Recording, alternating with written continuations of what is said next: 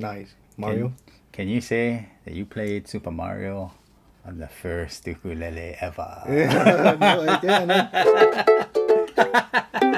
Dude, this is crazy. That is cool. Yeah. So uh, Shawn saying, um, so this is what known as like it's it's what we know as uh, you know as as far as what we can confirm and what we can't confirm. Yeah, but but basically this is this is acknowledged and considered the first um, ukulele, and you know nobody can say with with definitive proof, but um, amongst you know the the people who are familiar with the history and um, this was actually on display at the um, at the uh, what is it? The it still has the sticker so the Academy of Arts as uh, the first ukulele uh, one of the telltale signs is it's um, has a koa neck. So uh, you know they wouldn't have had koa in in uh, what is it uh, Madeira? Madeira. Yeah.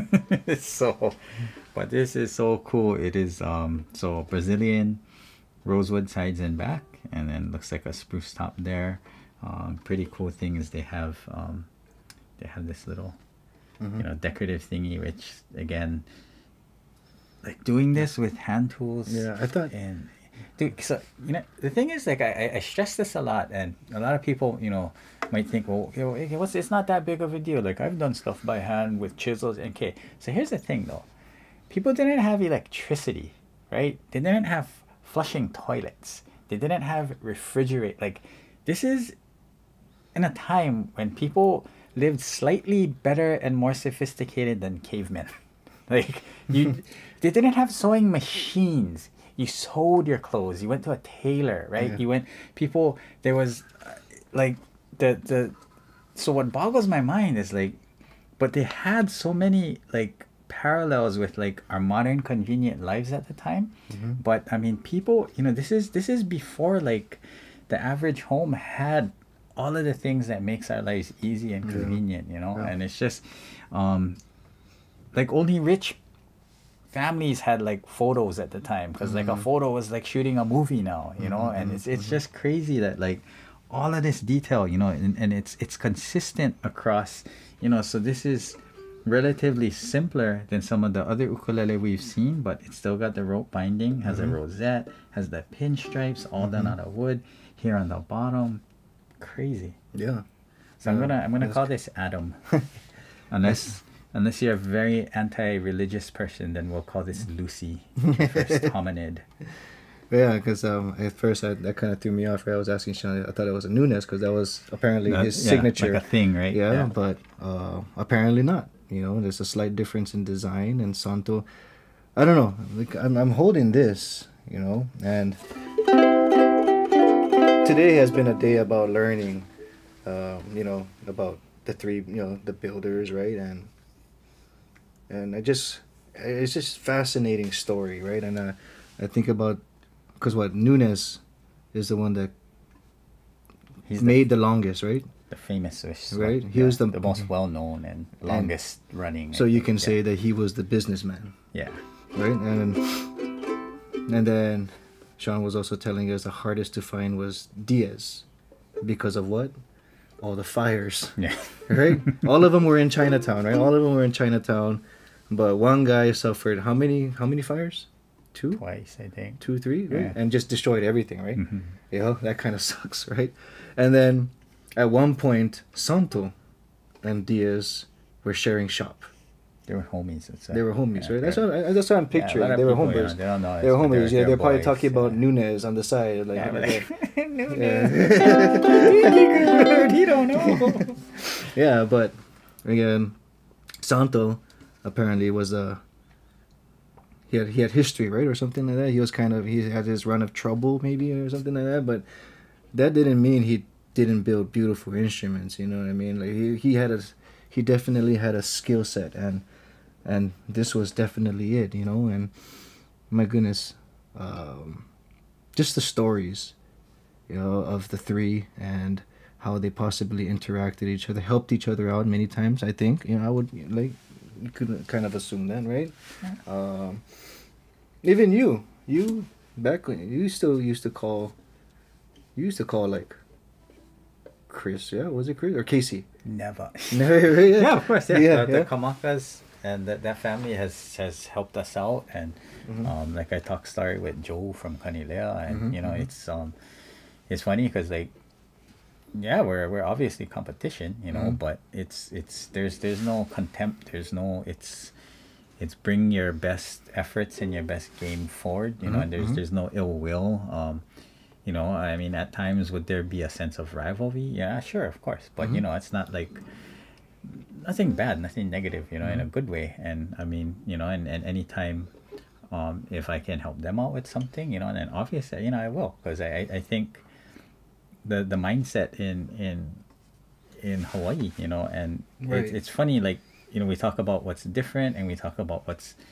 the same, you know, and um, you know while while these guys came from a, a different place, a different culture in Portugal, you know, they came from an island, like another island in in the ocean and in a different ocean, you know, but I think you know, not to say that this culture is exclusive to islanders, but I think generally small communities where family and and, and community relationships are, are strong. You know, Eh, you look at, um, you know, not so much the big cities in, in say like on the west and the east coast, but as you get more towards like rural America, you know, you see like that old school like 1950s America from like the movies where like you know your neighbors, you know your you know the person at the general store, and you know I think a lot of that hasn't changed in in areas outside of like you know very very modernized metro like gentrified areas, you know, and um, yeah, I, I I think they all definitely had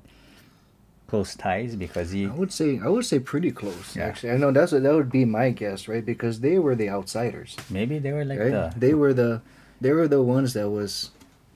I mean, they you know, just like kind of like Japan, like the Japanese out here, right? They we tend to click together, right? Because familiarity, you know, everyone there were welcome and everything like that. But uh, I I figure it's the same thing, you know, with with these guys. You know, here they are, trying to make it. Came coming from the sugar sugar cane or the plant the plantation, right? yeah and starting their business and and who are they right yeah. like just three foreigners in hawaii you know trying to trying to make it yeah. you know so i would figure i think they're a little bit more homies than we think I think so. i don't know think you know so. i mean maybe i'm wrong you know but it would be nice to kind of think that way Yeah. you know and yeah it's just that one's the that one's the deluxe model though. yeah That one's Yeah. the that one's the the mega. That's the. I mean, like we don't want to do it whoe- whoever you know, whoever it was at that point in history must have had some had some bucks. yeah right i wonder They were how not much the. This was not the uh, plantation worker. This was the plantation owner purchased this instrument. I wonder how much this would really. You you figure, like we're so you know for us Koaloha, we're so blessed that people you know, our instruments are expensive. You know what I mean? And uh, people buy them, and I just wonder. But, I don't know, maybe Shawn knows the answer. Like, how much did this sell for? I don't know. you know, like what would it be? Like, Well, this was like a hundred years ago, so at least dollar. because right, back in the day, you used to you like I heard of Kamaka selling for like ten bucks or something like that, right? And like I don't know, Yeah. right? So you would figure right this. With all No, of I- this, with I- all of this, I think I think I mean to scale, I would I, I would say this is in the range of like a seven to ten thousand dollar modern custom. You know, Mm. the, the so again like what what was seven to ten thousand dollars back then? Like dollar dollar fifty? I don't know. You know, because that like. This is when a penny was like worth something. Mm-hmm. right, you right, know? right, right, A penny was like a You- dollar. you would get change and- for a Yeah, penny. like yeah, they had the, the yeah, it was like yeah. Yeah. So yeah, amazing, man. Uh, uh, like today has been quite a learning experience for myself, really. Um, Did you want to play Mario on this one? I actually I do want to touch Okay, it. I mean, this I is play- I this is my first I ukulele. want to play Star Wars. So this is like is was what's argued is that this that what the, it's a transition, right? It's either was it a, a machete or ukulele. It all depends on what was it tuned to when it was first made. Yeah. Right. Right. That's what it all boils down to. And I'm just gonna say it was tuned to GCA. No, that uh, I'm, I can say with confidence. Okay. Yeah, because Yeah. I So- because I, just know. I said So so. there's really no more doubt Yeah, anymore. no, this is confirmed, actually confirmed. confirmed. The first ukulele because we Brian and Paul said from Yeah, Paul. so rest assured, it's- this all is an Just ukulele. stamp it, stamp it, notarize it, all good. Oh, good. Good to go. Beautiful.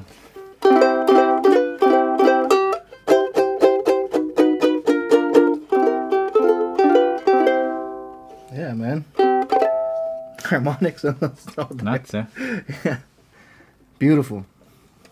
This thing is cracks all over too, but restored and still still sounds a banger. It's still a banger. Beautiful You know work. You know, You know what I thought this was at first? I thought. pick um, guard. Yeah, I thought it was like a super crazy pick guard until I realized, oh no, that's just That's a dip. yeah, it's been you know, and that's that's the cool thing is like this Has been this played. has been played, and Mhm, you know, mhm. for for me and for you, you know, as builders, I think That's what we want, yeah, right? yeah, I don't want to just build something and it, it sits on a shelf and you know looks pretty and I mean, if it if it means something to them, if it's hanging and displayed, then yeah, of yeah, course, absolutely, right? But absolutely, but yeah. but yeah, you as instrument builders, we want people to build. I mean, to play our instruments, you know. So very cool. Thank you. What an experience.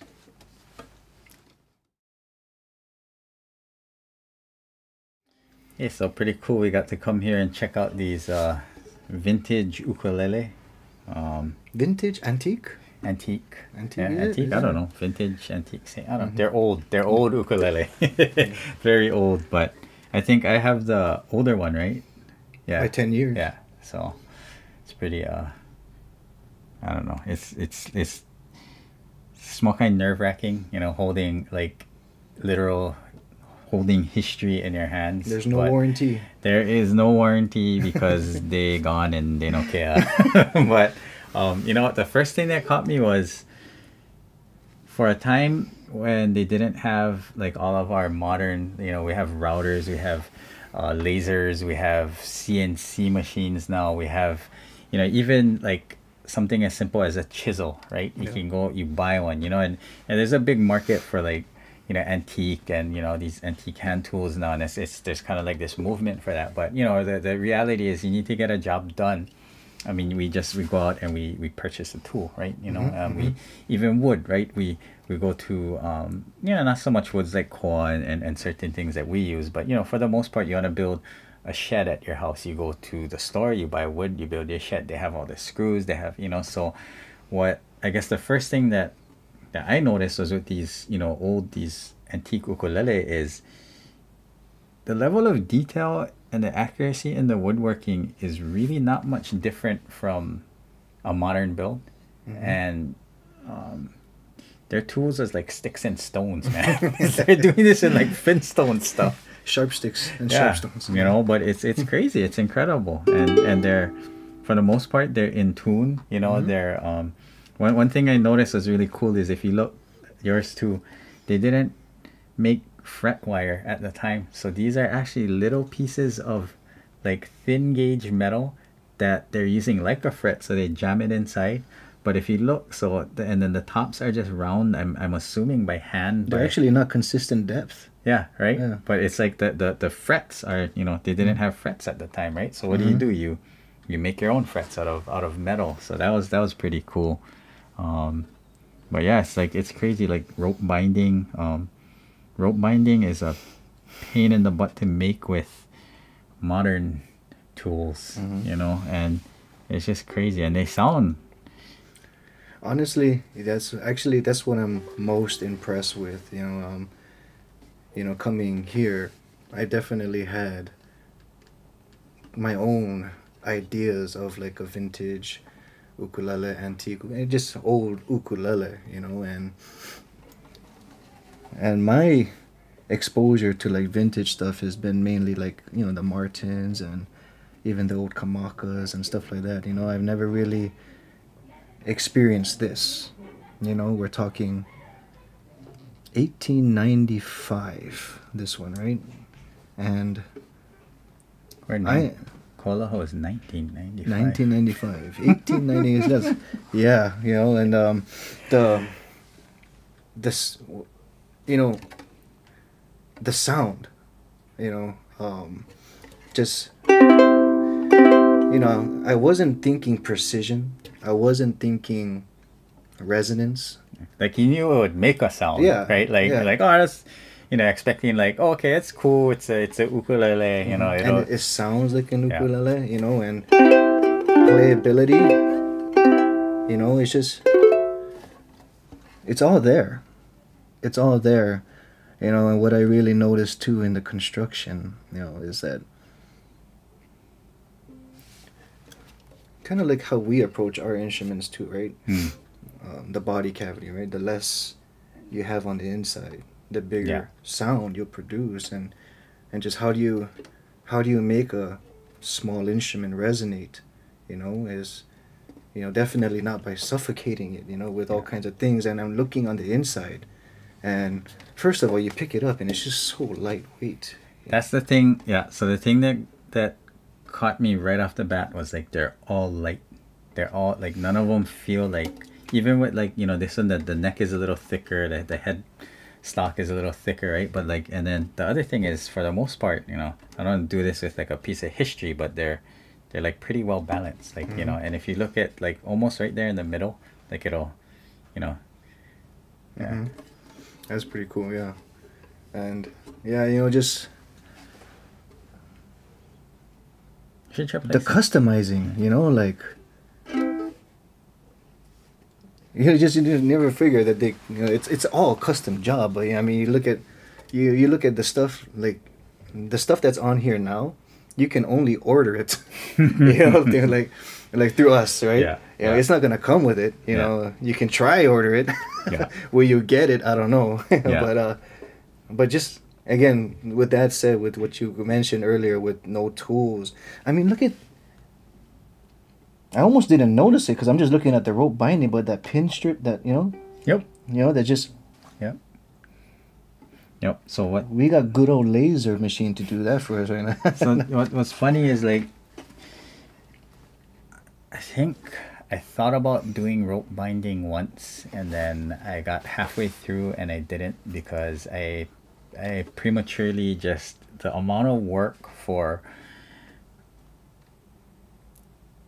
for what i would charge or want to charge and for what a person would want be willing to pay for like rope binding Mhm. you know it's it's it's it's one of those inequitable things right like say we do like this crazy inlay right but all this shell and diamonds and whatever right people are willing to pay because it's like it's got that bling you know Mhm, mhm. but for rope binding it's it's great you know it's subtle it's it's earthy it's it's not a boom in your face thing like shell you It know but- flows. yeah you know and it, it adds a lot but it's so much work um you know so in addition what a lot of people don't realize with these these older you know items be it an ukulele be it a, a shelf be it a house be it you know whatever it is is um not only did they have to make all of their stuff because they didn't have luthier supplies at the time right so these guys are not only building their instruments but they're also building so in in many cases they're actually building their own specialized tools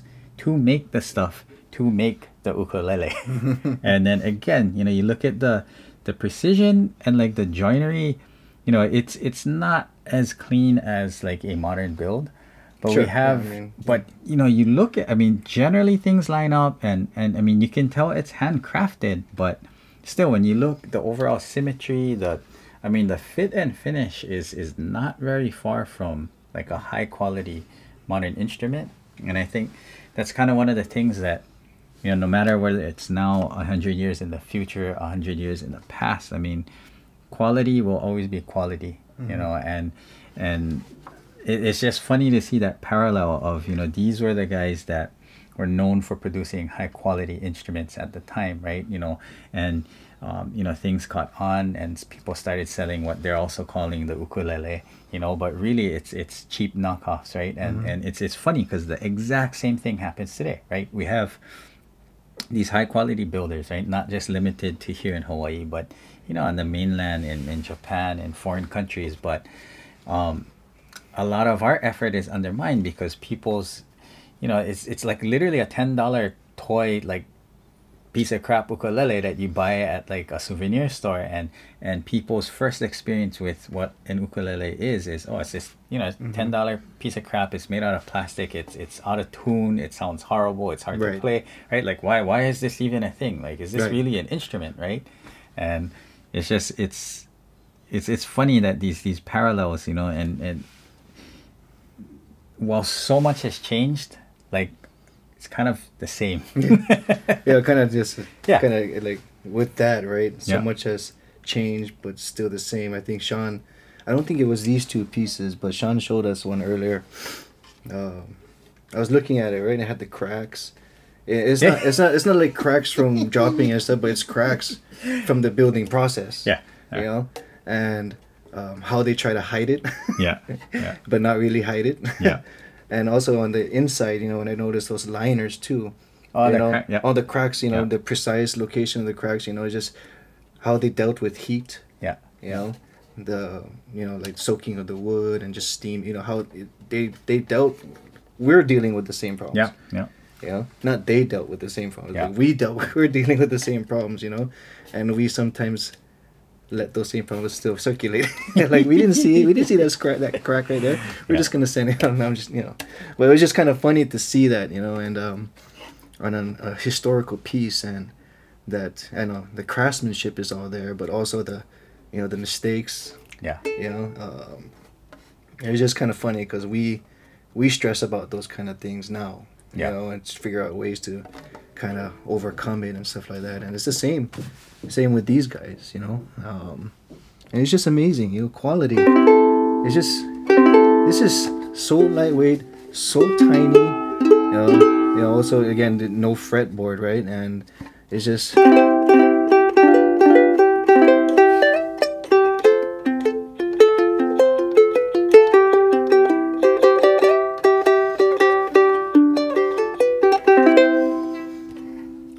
It's an ukulele. Yeah. know, again, totally different from what I imagined and It's like if you close your eyes, you wouldn't know this thing was built like 130, 40 Yeah. years ago, right? yeah. Yeah. You know, it's it's it is totally an ukulele. A very well made, a very old, beautiful ukulele. I mean, even just the finishing, right? There was that one rosewood blood, the Brazilian rosewood piece that I actually thought it was refinished, right? But just Yeah. just the sheen on it, you know, it's just over over a hundred years, and it's just it's still protecting it. It's still there. I mean, you know, it's still got cracks here and there, but look at it. I mean, my goodness, this is a beautiful Did you just crack it? I know, no, no, I did not. yeah, beautiful pieces. Oh, and the gut strings, these are a trip. yeah. Yeah. yeah. Different. Very, it's uh, I was actually not kinda- what I was expecting. They're, they're, they, they play and they sound it. They're, um, I like the tension. Mhm. Yeah, but it's, I don't know. They're, they're neat. I've never, I don't think I've ever played like actual gut. gut I don't think we talk about this enough either. Oh, the pegs. Yeah. That's they carved that out. Yeah, they. Yep. Yeah. And, and they match the taper by. Yeah, yeah. I mean, basically they they they fit it. And Yeah. If it doesn't fit, and if you make it too small, then They you just make, gotta- you make another one. They're gonna make another ukulele that would fit that one peg. Yeah. That's pretty cool, man. What was the what was the whole thing you were talking about too? Uh, they're like having a fretboard versus no fretboard, and what it kind of what like not using a fretboard limits you to. Oh, so yeah, so I thought that was pretty interesting. yeah, so I think so. What's pretty cool is, you know, in addition to just like some of the parallels as far as like quality and I think even marketing, right? Because you look at why why why do more work and add more things that you cannot charge for the amount, you know, in, in equal or an equitable amount of labor, additional labor, and you can't charge that, right? Like why why do it? It's it's marketing and it's the same thing, right? Where you know they, they didn't have the internet but the the economy was far more global or connected than than a lot of people realize. It's just it wasn't i think on the consumer level you know where like you can order something directly from china directly from japan mm-hmm. now right? And it's just it's it's literally like a click. It's on your Right. it's in your pocket most of the time. You Yeah, have yeah. access to the entire world you know? But they, they had the same marketing right? Because you have let's say you have three to five guys making the same thing like what what makes your thing different why should i buy yours right so you know part of marketing is business right it's it's a part of business and you know it's why do more work when you don't have to and it's Right. it's kind of interesting when you look at like so this one the, Work smarter, the- not harder. Exactly. So the Yeah. Nunes has no uh, fretboard, right, or fingerboard, whereas this one does. Um, this is an older one, and this came from a time when I think they were building and following all of the tradition, you know, or as much of it as possible, like 100%, right? That this is where we came from, this is how we build these instruments. And um, it comes to Hawaii, and they're like, hey, wait a minute.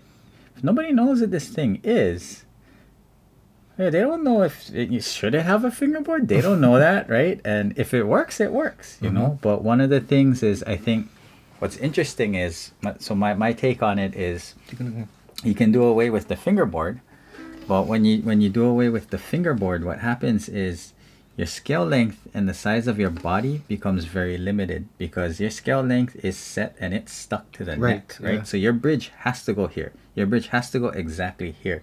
So as far as like how you build the body, the, the proportions of it, where you want the bridge to set, in a sense, you're you're building everything around The neck. the neck yeah and the body everything you're bracing so everything is already predetermined right? So you know while this was definitely definitely save us some time from a manufacturing standpoint um, i think they needed to keep pushing the envelope right and kept you know well crap now there's like two more companies that are doing the same thing right? So how do we make it different? Oh why don't we make the body bigger or mm-hmm. let's increase the scale length. Or mm-hmm. what if we mm-hmm. move the bridge so that it's not directly in the center? Let's push it a little over the center. What does that do to the sound right?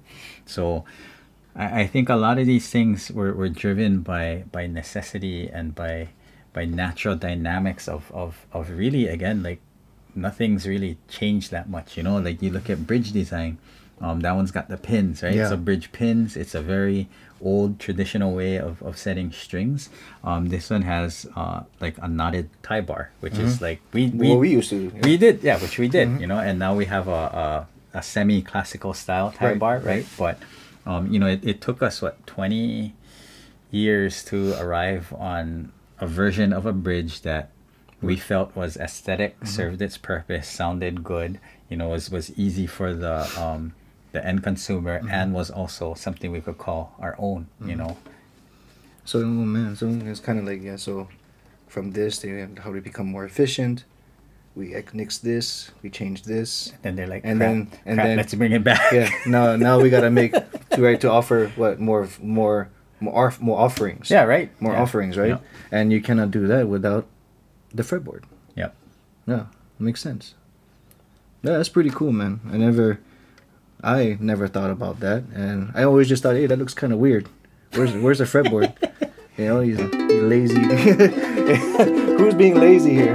but but it makes sense, you know, like because back in the day, less tools, less thing, you know, materials might have been an issue as well, and yeah, just you gotta roll with the times and yeah, just be as efficient efficient as possible and yeah, you know, like and like what we were talking about earlier, right? Like it's an art, but at the end of the day, it's also a business, yep right? And Yeah. just to see how the the minds of the early builders like Santo, Dias, Nunes, you know how oh you gotta how the with not only the instruments changed, but business changed. yeah You know what I mean? That's also another way to look at it, right? So Oh, you gotta gotta feed your family. You Yeah. gotta feed your family, right? Yeah, And, no kidding. You know, yeah.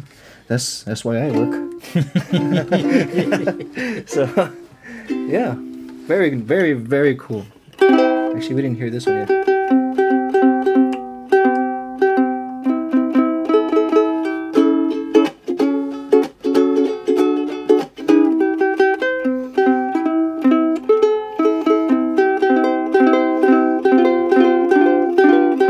My goodness, man! Look at it. it's just so decorated. yeah, you know even the other piece that we saw you know like because you know shawn pointed out that everything is custom yeah, you know when you think about it Yeah. right uh, it is you know but what it was pretty cool to see is that people back then a hundred years ago people still want to see their names on it And nothing's changed. right that's pretty crazy right Nothing's changed. what was that one that said uh, what was the name Um, on it what was Dell. dell Dell. Yeah. yeah That was obviously Dell. for Dell or the Dell family. she right? wanted to see her name on it, and it's the same thing that Yeah. you know with the musician. What we built for, right? They want to see their name on it, you know, and it's just pretty cool. It's the same, you know. Yep. Um, yeah, it's amazing. I like I like the um between the two. I think they're they're both great. I like the sound and the I think I- so. I- this thing is like it's magical. Yeah. You know, and between the two, it's it's simpler. It's smaller. I think. Mm-hmm. Um, I don't know. It's just this one is all koa though. That's pretty cool. You it's know. it's a banger, man. Yeah, you just play it. You just yeah. This one sounds good, but this one, yeah. the power. You just feel the vibration Yeah, on the body. yeah, You know what I mean? yeah. I feel it. It just it sings. It responds. Yeah. Yeah. This one you gotta kind of. I mean, you can go louder and more responsive, but this one you gotta. It takes like that one, like feather touch it, like it Mm-hmm. respond like a um, like a finely tuned, you know, Yeah. something. Yeah. Precise. yeah. It's that's crazy. It's awesome. This has been an awesome experience. Can you believe we're leaving with these two today? I know, you know, like know, thank you. So generous. Thank you, Shawn, I mean, what, like, what do we do to? you were too kind. you know, we got. We should at least bring him mala, malasada and Something. Um, We'll bring koi, you koi something. donut. Koi- koi donut.